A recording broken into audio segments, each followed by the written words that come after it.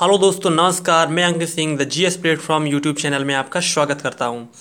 तो दोस्तों, आज मैं लेकर आया हूँ आपके लिए अंग्रेज़ी से संबंधित एक बहुत ही इंपॉर्टेंट वीडियो जिसमें यूपी टेट 2017 के लिए बहुत ही अच्छे मटेरियल का समावेशन किया गया है। इसमें मैं मर्चेंट ऑफ़ वेनिस से संबंधित काफ़ी क्वेश्चंस को डिस्कस करूँगा और उसकी जो पूरी स्टोरी है, उसको बहुत ही कम शब्दों में आपको समझाऊँगा। और इसके साथ साथ उससे, उसके अलावा काफ़ी और भी इंपॉर्टेंट चीज़ें इसमें दी गई हैं। तो वीडियो शुरू करने से पहले मैं आपको बता दूँ कि चैनल को प्लीज़ सब्सक्राइब कर लीजिए, जिससे कि नई वीडियो आपको आराम से पहुँचती रहे। तो चैनल को सब्सक्राइब कीजिए लाइक कीजिए शेयर कीजिए। तो चलिए शुरू करते हैं आज की वीडियो।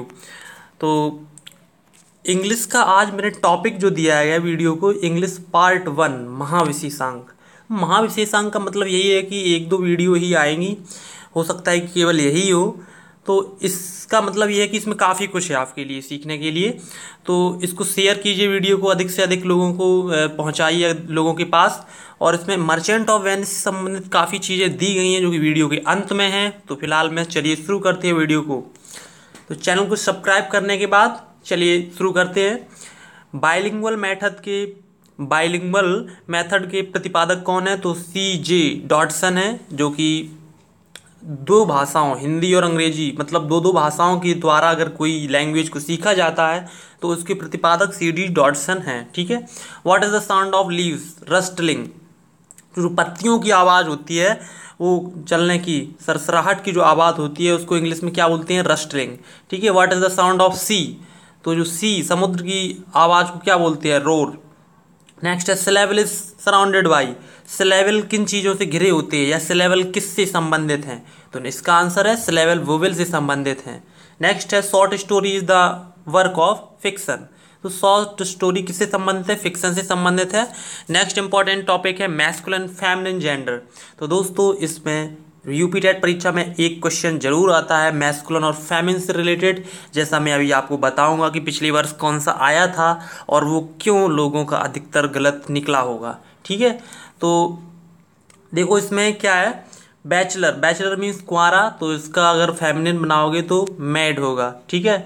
बोर माने सुअर, सौ, ठीक? इसका मतलब फैमिन हो जाएगा, ठीक है? बक मीन्स हिरन डो माने इसका जो फेमिनिरन है, ठीक है?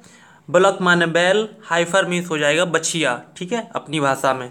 नेक्स्ट है कोल्ट मीन्स बछड़ा, इसका भी हो जाएगा फ्ली नेक्स्ट है ड्रैक ड्रैक मीन्स बतख, इसका हो जाएगा डक ठीक है? इधर ये सब मैस्कुलन है और उस साइड में फेमनिन है, ठीक है? नेक्स्ट है अर्ल. अर्ल मीन्स नवाब तो काउंटेस मीन्स नवाब की फीमेल ठीक है? जेंडर मीन हंस गुज ठीक है? हार्ट ये हो जाएगा रू. इसके बाद मॉन्क मीन्स साधु नन तो इसका सीधा सीधा अर्थ है कि मॉन्क मीन्स साधु वह साधु जो पुरुष है।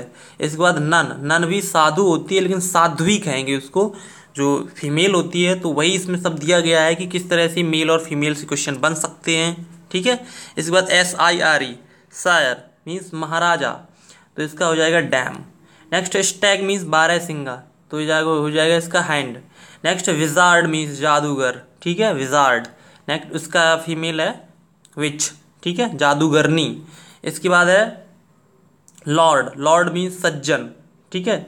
तो सज्जन इसका उल्टा इसका हो जाएगा लेडी, ठीक है? नेक्स्ट है फ्रेयर, ठीक है? इसका हो जाएगा नन, ये भी सही है। फॉक्स मीन्स लॉमड़, वैक्सीन, लोमड़ी, ठीक है? B A U beau means प्रेमी, बैले, प्रेमिका, ठीक है? जैक एस, गधा और जैनी एस, ठीक है? इसका उल्टा हो जाएगा। नेक्स्ट है होस्ट पुरुष मेजबान और हॉस्टेस महिला मेजबान। ठीक है काउंट का सामंत है और काउंटेस का इसका हो जाएगा आपका उल्टा, ठीक है? तो यहाँ हम देखते हैं कि ये जितने भी क्वेश्चन दिए गए इनसे फीमेल बनाने को आता है। तो पिछली साल जो आया था क्वेश्चन जो था आर ए एम रैम ठीक है? तो इसका हो जाएगा ई डब्ल्यू ई ठीक है? ये आया था, जो कि मैंने इसमें अलग से नहीं लिखा है, लेकिन फिर भी मैं आपको नॉलेज के लिए बता दूँ, ठीक है? इसके बाद देखते हैं ट्वेल्थ मतलब कक्षा बारह की पोएम और पोइट उससे रिलेटेड क्वेश्चन भी आते हैं कि इस पोएम के पोइट कौन से हैं। ठीक है तो बहुत ही जल्दी इसको डिस्कस करते हैं। तो कक्षा बारह की पोएम मर्सी मर्सी के लेखक सॉरी मर्सी के पोइट है विलियम शेक्सपियर ठीक है? नेक्स्ट है character of a happy life son sir Henry Wotton ठीक है? ट्रू ब्यूटी के Thomas Carew on is blindness John Milton an elegy written in country churchyard Thomas Gray ठीक है? द स्कॉलर रॉबर्ट साउथी ठीक है? इसके बाद है education of nature William Wordsworth element P B Shelley la belle dame sans mercy John Keats ठीक है? To the पपिल्स के पोइट है हेनरियल डोरोजियो ठीक है? Passing of the Arthur Alfred lord Tennyson O captain Michael captain Walt Whitman ठीक है? ये ये अब्राहम लिंकन की सॉरी हाँ जॉर्ज वाशिंगटन के बारे में है। डॉवर बीच, मैथ्यू अर्नोल्ड, ठीक है? और कैजुरियना tree तोरुदत्त। My heaven, Rabindranath Tagore की पोएम है, ठीक है? My heaven. अगला है इफ़, रडार्ड किपलिंग, ठीक है? नाइटिंगेल्स, रॉबर्ट्स ब्रिंग्स, ठीक है? इसके बाद है stopping by woods on a snowing evening. इसके हैं रॉबर्ट फ्रॉस्ट। नेक्स्ट है the palanquin bearers, Sarojini Naidu. Song of the free Swami Vivekananda. ये तो आपकी ट्वेंटी पोइम्स हुई, जो इंटरमीडिएट में पूछी जाती थी। इसके बाद एक कक्षा नौ की पोइम जो नाइन्थ क्लास की भी पोइम हो सकता है, पूछ दिया जाए। तो mountain and the squirrel Ralph Waldo Emerson है इसके पोइट सिंपैथी के हैं चार्ल्स मैक्की फेटफुल फ्रेंड की विलियम शेक्सपियर है, इनकी पूछी जा सकती है, ठीक है? नेक्स्ट है इंडियन वीवर्स के सरोजनी नायडू और I vow to thee sir Cecil Rice ठीक है? इसके बाद कक्षा दस की पोइम या पोइट इसकी भी देख लो क्लास टेन द फाउंटेन की है James Russell Lowell the psalm of life H W Longfellow perfect light Ben Jonson और लास्ट है nation builders R R Ralph Waldo Emerson या आर डब्ल्यू इमर्सन ठीक है? तो ये तो आपकी हुई कक्षा दस की पोएम या पोइट इसके बाद अंतिम टॉपिक इस वीडियो का है कि मर्चेंट ऑफ़ वेनिस में क्या है। ठीक है? मर्चेंट ऑफ़ वेनिस जो कि मोस्ट इंपॉर्टेंट टॉपिक है, पिछली साल दस से ग्यारह क्वेश्चन पूछे गए थे, जिसमें कि अधिकतर लोग क्वेश्चन गलत हुए थे। ठीक है तो आज इस पर हम चर्चा करेंगे, जिससे कि अगली बार ऐसी गलती ना हो सके। तो मर्चेंट ऑफ़ वेनिस ये एक वेनिस के व्यापारी के बारे में एक ड्रामा है इंटरमीडिएट में है। तो चलो, ज़्यादा देर ना करते हुए इसमें हम इनके पात्रों को समझते हैं। ठीक है मर्चेंट ऑफ़ वेनिस में।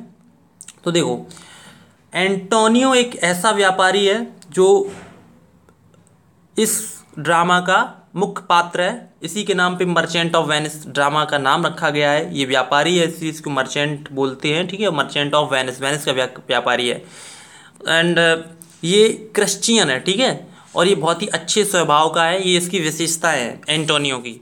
इसकी जो प्रतिद्वंदता है, वो इधर साइलॉक से है, ठीक है? ये एक और व्यापारी है, ये ये सूदखोर भी है, ऊँची दर पर ब्याज रुपयों को देता है, लेकिन ये जीव है, यहूदी है और इन दोनों के बीच काफ़ी मनमुटाव है, ठीक है? तो देखते हैं एंटोनियो में क्या और है। एंटोनियो का दोस्त है, एंटोनियो का दोस्त है, ये जो मैंने लाइन खींची हुई है, ये कुछ इस तरह से, इसका मतलब ये है कि एक दूसरे के दोस्त हैं सभी लोग, ठीक है? तो देखते हैं और किस, और दोस्त कौन कौन से हैं? एंटोनियो का दोस्त है बेसेनियो, ठीक है? बेसेनियो एक ऐसा व्यक्ति है जो एंटोनियो से पैसे उधार मांगने जाता है। शुरू में ही ड्रामा में ये बताया गया है कि एंटोनियो से पैसे उधार मांगने के लिए गया है। तो एंटोनियो के पास पैसे हैं नहीं इस मर्चेंट के पास, वो अभी प्रॉब्लम में चल रहा है। तो इसने कहा कि हम तुम्हें किसी और रिसोर्स से पैसे दिलवाएँगे।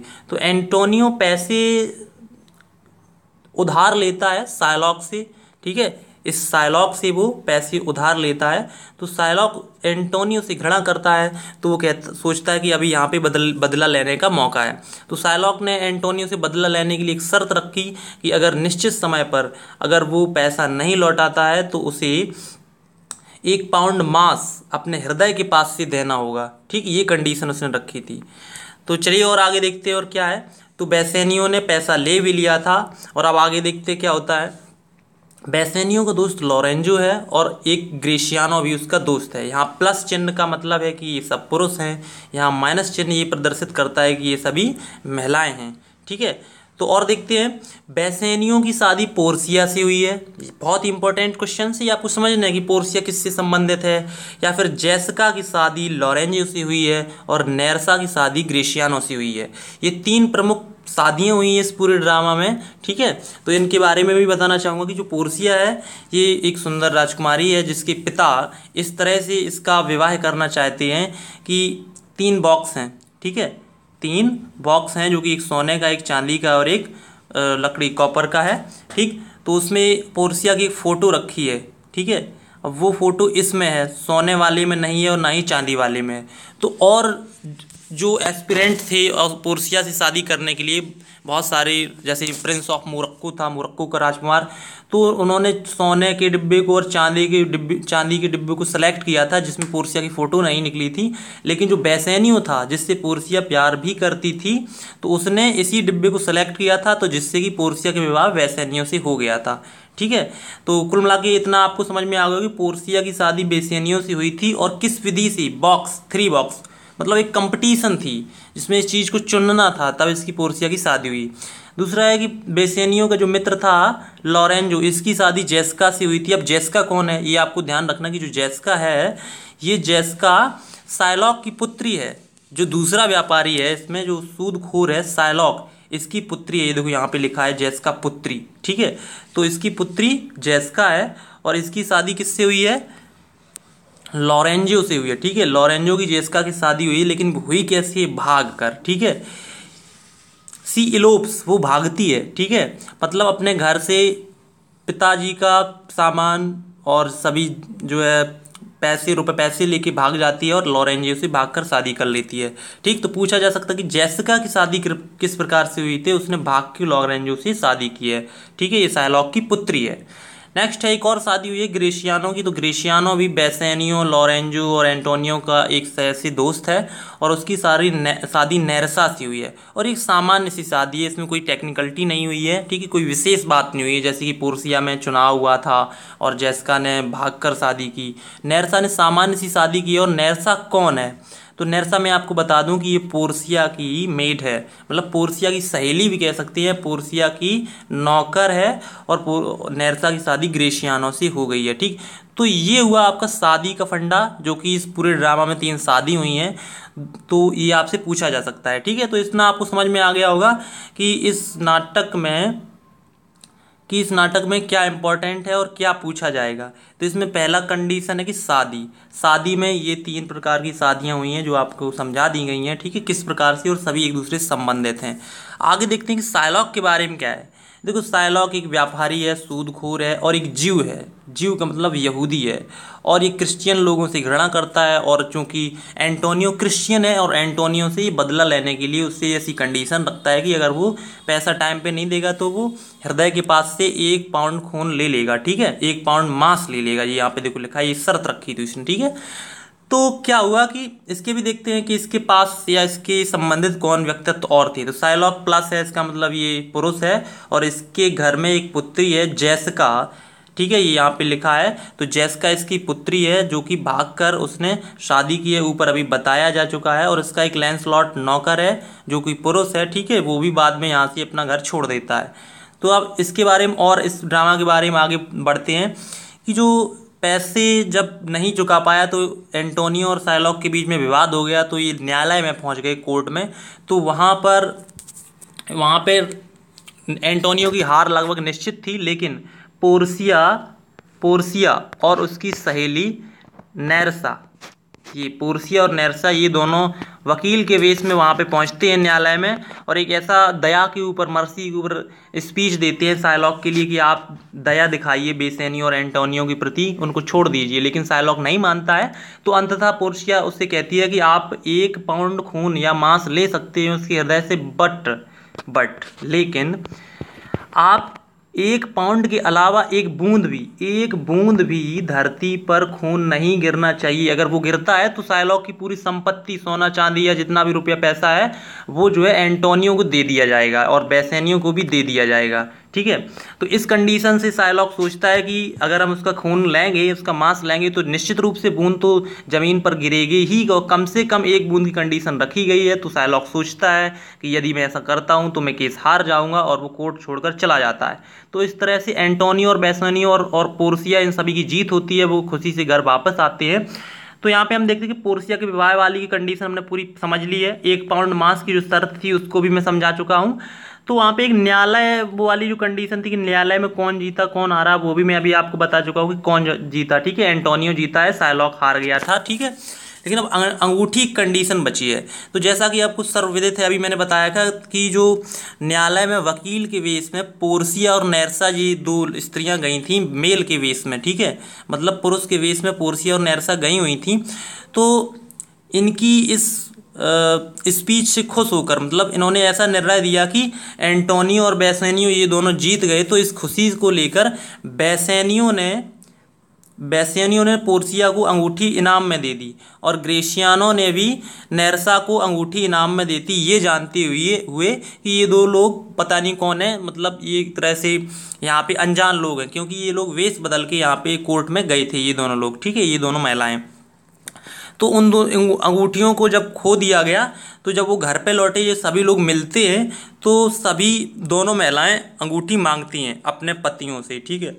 क्योंकि इन्हीं को दिया गया था छद्म वेश में जब ये इनसे मांगती हैं तो वहाँ पे एक हास्याप्रद स्थिति बन जाती है और अंत में वो पूरा राज बता दिया जाता है। पोर्शिया के द्वारा और नेर्सका के द्वारा तो वहाँ पे काफ़ी कुछ ड्रामा का एक सुखद और बहुत ही रोमांचक अंत हो जाता है। तो ये था आपका मर्चेंट ऑफ़ वेनस का एक सार, जिसमें मैंने बताया कि किस तरह से व्यापार हुआ, इसमें क्या कंडीशंस थी, कौन जीता, कौन हारा और किस तरह से इसमें शादी हुई है तीन प्रकार की, ठीक है? और उसमें किस तरह से पात्र एक दूसरे से रिलेटेड हैं, ठीक है? ये ये ये दोनों ये दोनों और ये किस तरह से एक दूसरे से संबंधित हैं और इसमें जो साइलॉक है वो किस तरह से इन दो पात्रों से संबंधित है। तो इसमें काफ़ी कुछ डिस्कस किया है तो उम्मीद है आपको वीडियो पसंद आएगा। लेकिन जाने से पहले मैं बताऊँ जा, बताना चाहूँगा कि चैनल को सब्सक्राइब ज़रूर कर लीजिए जिससे कि इस तरह की और यूजफुल वीडियो आपके पास पहुँचती रहे ठीक है? तो नमस्कार मिलती है अगली वीडियो में।